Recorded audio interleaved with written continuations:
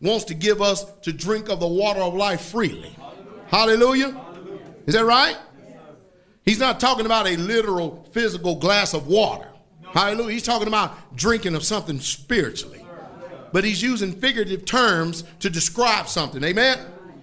Because Jesus is the water. Is that right? Give, and he is the one that gives us to drink. Is that right? Hallelujah. And it only comes by the Holy Spirit.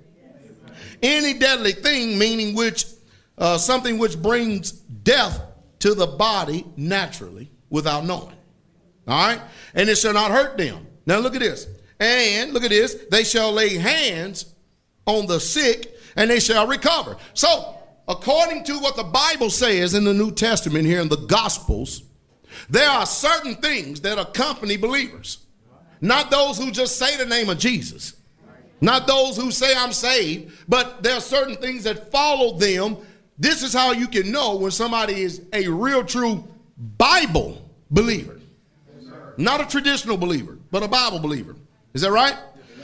When religion, let me let me stop that notion. Let's go to verse 19. So then, after the Lord has spoken unto them, he was received up into heaven, and he sat on the right hand of God. And they, meaning the disciples or the eleven, whom Jesus had already given authority to, is that right? To all these things, to do all these things. Is that right? When they was with him before. Went forth, they, talking about the disciples, went forth and preached everywhere. So the disciples did work. They preached everywhere. Is that right? Because he just got finished giving them the instructions, the walking papers. You go and preach the gospel. Is that right? Is that right? Is that right? All right. And so when they heard his instruction, after being upbraided for their unbelieving hardness of heart, they decided that it was in their best interest to go ahead and obey Jesus. Hallelujah. All right. And they went forth and preached everywhere. Here's the key the Lord working with them. Did y'all hear that? The Lord working with them. Is that right? And confirming the word. So the Lord works with the disciples and he confirms the very word. Is that right? Because then the Lord is working with them. That means this is something done together in oneness. Is that right? In unity. Is that right?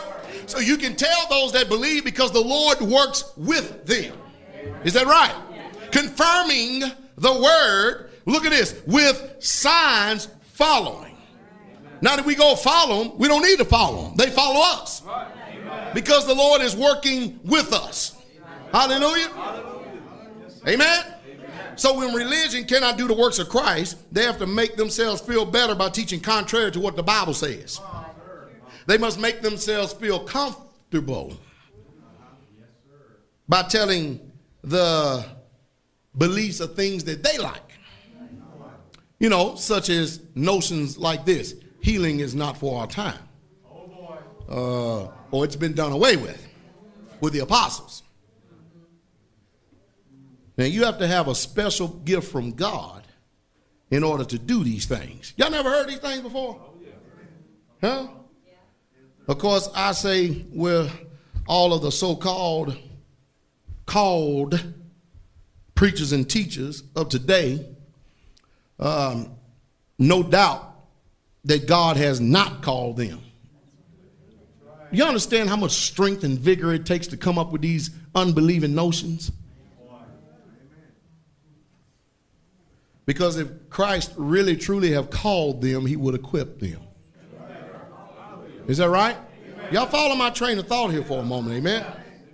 Because, you know, when we read verse 20, it says the Lord is doing what? Working with them. That means that means the Messiah's with somebody. Hallelujah. Everybody claimed to everybody claimed to have Jesus. Everybody claimed to have, I've got Messiah. I've got Yeshua. Oh, but yet and still we hear what they're saying, but we don't see the Lord working with him, confirming, confirming the word with signs following. Yet we got a lot of mama called and daddy sent preachers and teachers. We have an abundant supply of jack leg jackals of preachers now. We got abundant supply of them. Hallelujah. Amen. And they preached everywhere, and the Lord was working with them.